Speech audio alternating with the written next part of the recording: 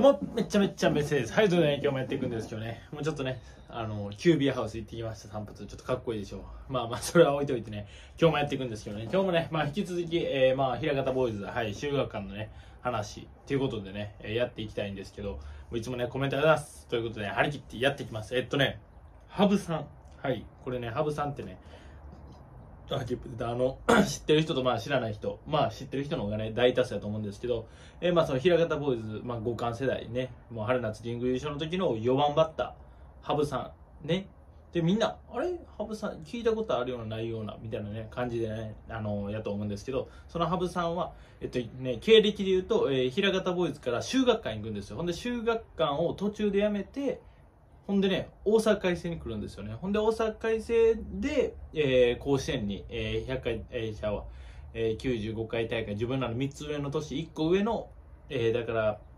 あの、久喜さんたちの代の1個上の年、姫野さんの代の時に、えー、早速ね、メンバー入りして、ほんで甲子園に出てるんですよ。ほんでその後ね、アジア大学行くんですけど、辞めて、ほんでその後ね、競輪選手になるっていうね、もう経歴がね、めちゃくちゃなね、もう羽生さんなんですけど、まあね、そのね、話をね、えー、その羽生さんがなぜ、はい、修学館を辞めたのかっていうね、話をね、今日はね、していきたいと思います。えっとね、まずね、これのね、まあ一番ね、大きいね、原因っていうかね、まあね、理由に挙げられるのは、これね、間違いなく、羽生さんは多分、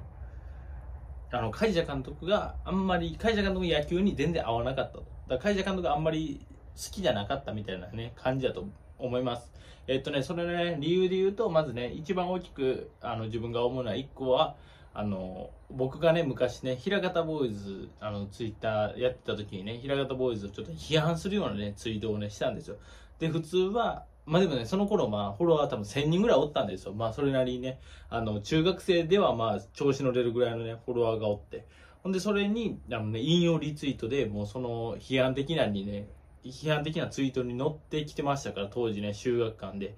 えー頑張ってた羽生さんは。でもその時点で、あもう平方ボーイズというよりか、その会社監督に対しての、まあその修学に対しての、まあそのね、野球っていうのはもうあんまりね、好きじゃなかったんやと。で、で、その後、まあね、これね、もう一個ね、七不思議があるんですけど、あの、辞めるじゃないですか。ほんで辞めたらね、皆さんね、知ってると思うんですけど、1年間ね、対外試合ね、えー、試合出れないんですよ、本当は。でもね、おかしくないですか ?1 年生秋に、えー、1年生秋か冬に修学館を辞めてるんですよ。羽生さんがね。ほんで羽生さんがね甲子園出たのは2年生の夏なんですよ。ねこれはねあのみんなね不思議やと思うんですけどあのこれはあのだからね親の転勤とかそういう理由であの、まあ、裏でねバーってごちゃごちゃってしたことによってそれがね実行されただからねあの対外試合1年間禁止みたいなのあるじゃないですか。対外試合ちゃうあの、選手が辞めたら1年間公式戦出られるみたいなね、あれね、ルールあるんですけど、あれはね、時にはね、都合によってはすぐ出れたりするんで、まあこれはね、皆さんね、実際にこういう例があったっていうね、話と、ほんでね、あのー、まあね、いろんなね、伝説あるんですけど、まあ他にね、あの、言うなら、あの、じゃ伝説じゃなくて辞めた理由を挙げるなら、あのね、そもそも、あのね、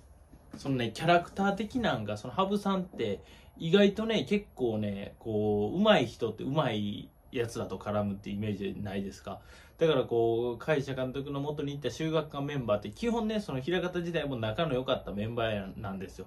だからこう、上手い人は上手いやつとおる。えー、だからね、こう、平方ボーイズの時もやっぱ藤原選手とかは、やっぱその上手いね、関東選手とか、あのー、小園選手とかで、まあそのグループのイメージがあったと。ほんでまあそのね、浜選手とか畑中選手とか中川拓也選手とかはこうグループのイメージがあった。だからね、上手いやつは基本で上手いやつとね、絡むんですけど、これね、面白いことに、これ、羽生さんはね、言うたら、平方ボーイズの時もね、その五冠世代の4番ですよ。4番バッターやのに絡んでるメンバーがものすごいね、ほんまね、あのメンバーになかなかね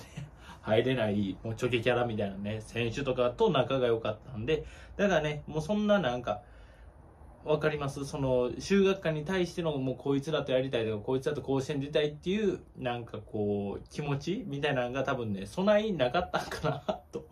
それもね思いますね。あのだから羽生さんその大阪開催来た時もなんかね普通はねうまい選手そのね上の試合に出続けてる選手とかとね、仲良くなるはずなんですけど、羽生さんが仲良かったのほんまにね、あのー、進路相撲で行ったね、人とかね、もうほんまね、ふざけたね、キャラクターばっかやったんですよ。あの水巻きめっちゃうまい水巻きの時だけね出てくるようなねそんなね選手とかとねよう仲良かったんでだからこう羽生さんっていうのはもうねちょっとだからそのほんまにあの天才キャラみたいなだからなんですかねキャラで言うとほんまにあの板尾一次みたいなねこう吉本のなんかこうちょっとね不思議なね雰囲気を持ってるねキャラクターでした。ほんであのまあ実力はね、まあ、その五冠世代の4番ってね聞いたら分かると思うんですけどなんかあのこういう話をしたらね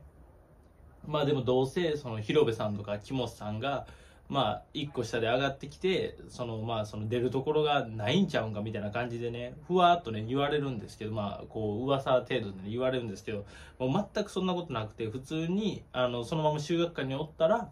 もうマジで普通にあの当時の打順って何番やった？あの修学館。でもほんまにね4番で絶対に試合は出てると思いますやっぱりこうバッティングとかはやっぱちょっとレベチでしたからだからあのアジア大学からも声かかってましたしだからその実力で言うとその修学館メンバーの中でもやっぱりバッティングだけ言ったら結構ほんまに群抜いとったんちゃうんかっていうぐらいの実力です。ほんでねあのそんなね羽生さんなんですけど最終的にはねあの競輪選手になってあのそれもねすごい話ですよね。アジア大学行ってほんでまあねもうみんなねもう100人中100人が言ってました。あのハブは多分アジア続かんなみたいなもうちょっとあの独特やからみたいなで言ってほんならハブさん続いてんのかなってその辞めてんのかなっていう話がもう入るぐらいになんかあの人どうなったんかなっていうぐらいにもうね競輪選手になってたんでほんまにだからあの経歴もほんまにすごくてほんでね今もあの競輪でねバチバチに活躍してるんで皆さんねあのかけるならね多分ね羽生さんに勝ちた方がね勝てると思うのであんまねそのギャンブル系のねあれはあんまね僕ね知らないんであの分かんないんですけどまああの皆さんあのかけるなら競輪はね羽生さんに勝ちた方がいいと思います。だからねまあこういう感じで見るとやっぱり分かるのはだからちょっとあの羽生さんってその仲間がおるからどうとかじゃなくてもう自分のもう意思意思意思であのねこう動いていく人なんであの修学館を辞めたのもなんか別に必然的やなっていう話とだからこの辞めた理由でやっぱ大きく挙げられるのはもうそもそも会社監督に対しての不満っていうんですかね。その不満とかあのああいう平方ボーイズ野球。あの平方野球っていうのがあんまり好きじゃなかったと。ほんであともう一個ね理由を挙げるならその仲間とあの一緒に甲子園出たいとかいう執着心がそんなかったと。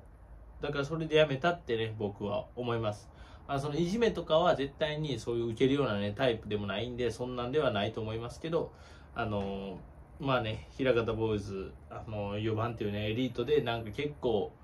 なんていうんですかね、こうプレッシャーをね、かけられとったと思うんで、まあそんなんも鬱陶しくて、もしかしたらね、大阪海戦来て、ほんでね、すぐね、甲子園に出るっていうね、まあ今日はね、ハブさんの話をしました。皆さんがね、知りたい情報とかね、あればね、ぜひまたコメント欄によろしくお願いします。それじゃあ、お疲れ様。